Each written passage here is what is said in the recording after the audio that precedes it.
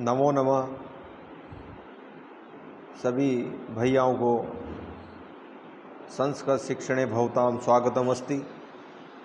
अद्य वयं पञ्चमः पाठः, जननी तुल्यवत्सलाः अध्ययनं करिष्यामः। जननी तुल्यवत्सलाः किमर्थम क्या अर्थ है इसका? इसका अर्थ है माता के समान वात्सल्य देने वाली माता। माता के समान, माँ के समान जो प्रेम करे सभी पुत्रों से, वो है तुल्य वत्सला जननी माता। इस प्रकार से इस पाठ में जो है एक गाय के माध्यम से बतलाने का प्रयास किया गया है कि प्रस्तुत पाठ में समाज में विद्यमान दुर्बल प्राणियों के प्रति भी माँ का वात्सल्य उत्कृष्ट ही होता है।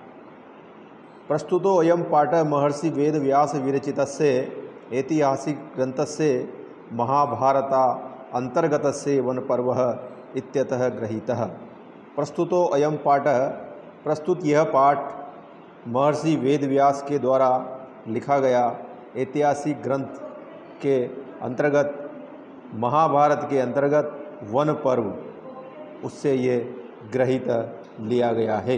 इत्यत इति अतः ग्रहित, यानी कि ये इससे लिया गया है। किससे? महाभारत के वन पर्व से यह पाठ लिया गया है। यम कथा सर्वेशु प्राणीषु समदृष्टि भावना प्रबोधयति। यम कथा सर्वेशु प्राणीषु, यह कथा सभी प्राणियों में समदृष्टि भावना प्रबोधयति, समान दृष्टि की भावना को जागृत करती है। अस्या अभिक्षिप्तितः।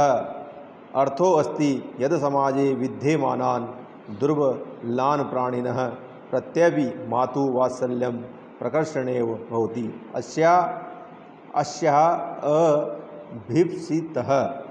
इसकी जो है चाहना, इसकी जो चाहत है, जो इच्छा है, इसका यह अर्थ है कि समाजे, समाज में जो है इसका वांछित अर्थ यह है कि समाज में विद्यमान दुर्बल प्राणियों के प्रति विद्यमान दुर्बलान प्राणिन दुर्बल प्राणियों के प्रति भी प्रत्यय भी, भी मातु माता का वात्सल्यम प्रक नेव भवती। प्रकष्ट होता है माता का जो प्यार होता है वो बढ़ कर के होता है। इसमें जो है एक बेल की कथा है उसके माध्यम से ये बताया गया है कि सभी प्राणियों को दुख होता है जब जो है उसको जब ज़्यादा दुखी करते हैं इस समाज में तो माँ को तो दुख होता ही है।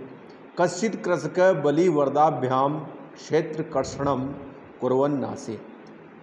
कश्चित कृषक कोई किसान बलि वर वरदाभ्याम अपने दोनों बेलों को, अपने दोनों बेलों से क्षेत्र कर्षणम, खेत को जोतने जोत रहा था। कुरवन न आसित। खेत को जोत रहा था। कोई किसान दो बेलों से खेत जोत रहा था, उन बेलों में से एक शरीर से कमज़ोर था।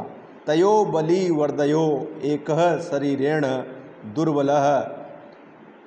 जवेन गंतुम सक्त चासित तयो बलि वर्दयो, उन दोनों बेलों में से।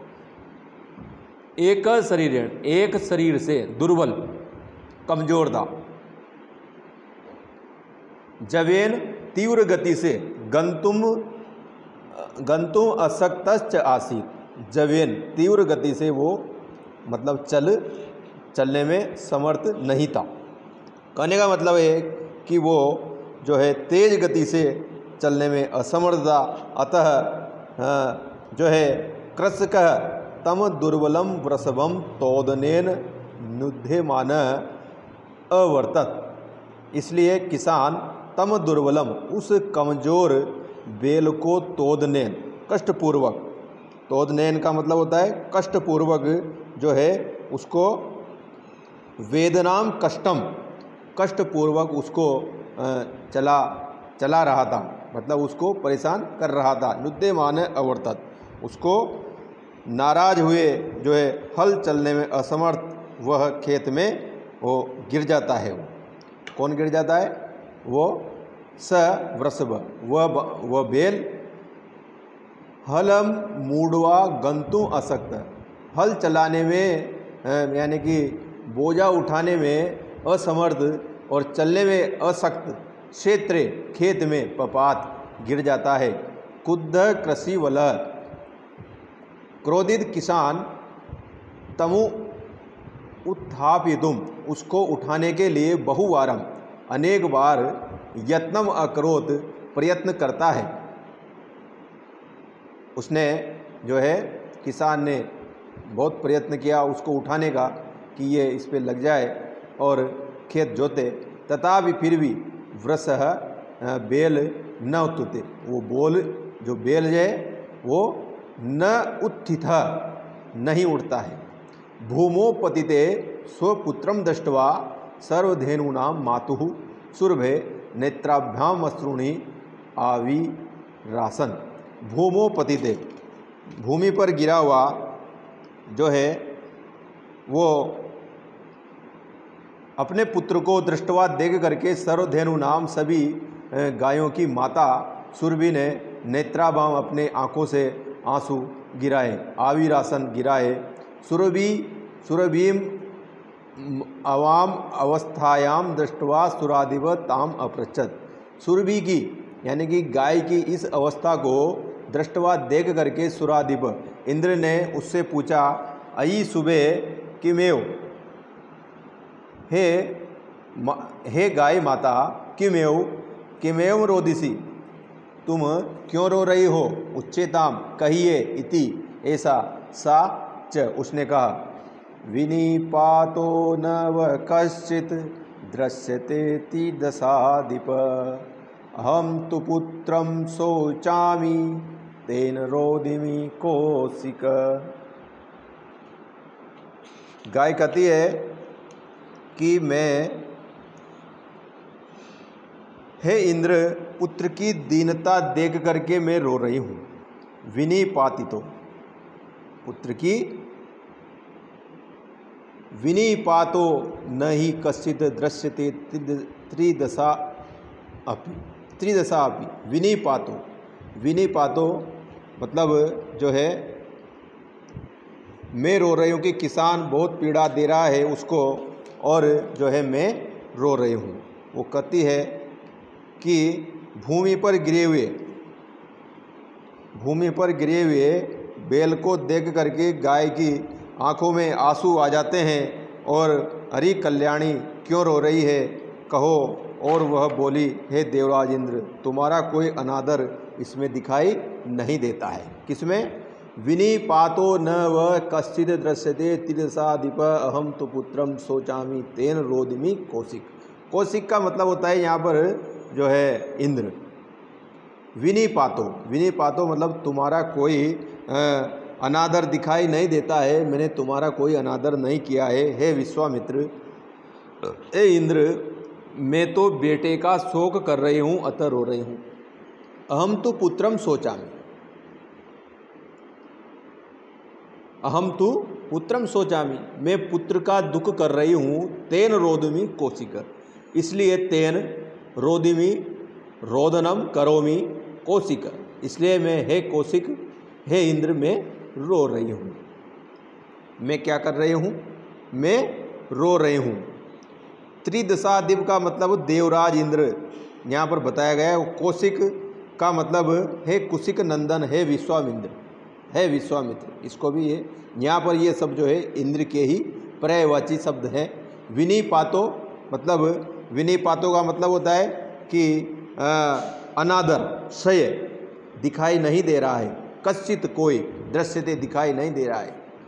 अहम तो पुत्रम सोचामी मैं तो पुत्र के आ, पुत्र का सोच कर रही हूँ पुत्र का दुख कर रही हूँ तेन रोदमी मैं इसलिए रो रही हूँ।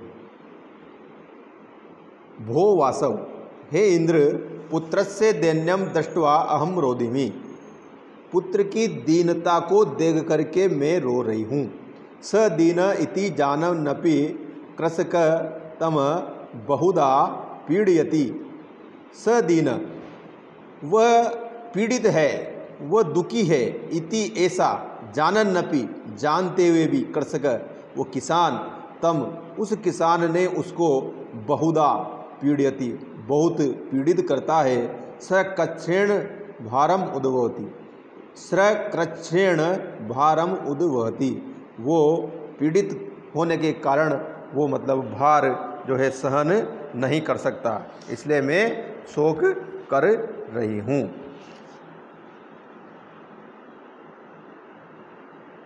यह सच है। क्या सच है? हे इंद्र, पुत्र की दीनता देख करके मैं रो रही हूँ। कल्याण संदेह जो है भारमद इतरम इव धुरम वोडुम स न सकनोमी। इतरम इव, अन्य बेलों की तरह धु धुरम वोडुम मतलब धुर धुर जो होती है उसकी जो बेल जो है उसको जोतते हैं, वो एक धुर होती है, उसको कंधे पर रखते हैं, उसको, वो उसको वहन करने में न सकनोमी। वो समर्थ नहीं है। एतद भगवान पश्यति। यह आप देखते हैं। नहीं ये आप नहीं देखते हैं। इति प्रत्योजत इस प्रकार उसने कहा। भद्रे नूनम शस्त्र शस्त्राधिकेशु पुत्रेशु सतेषु अपि तव अस्मिन्नेव एतादृशम वात्सल्यम कथम इति इंद्रेण पृष्ठा सुरभि प्रत्यय ओचत भद्रे हे भद्रे, निसंदेह हज़ारों पुत्र होते हुए भी तुम्हारा इस पर इस पुत्र पर इतना स्नेह एतादृशम वात्सल्यम इस, इतना प्रेम जो है, कैसे है? कथम कैसे है? इति ऐसा इंद्रियण इंद्र के द्वारा पूछा गया सुरभि प्रत्योजत और सुरभि ने उस गाय ने जवाब दिया, धन्यवाद।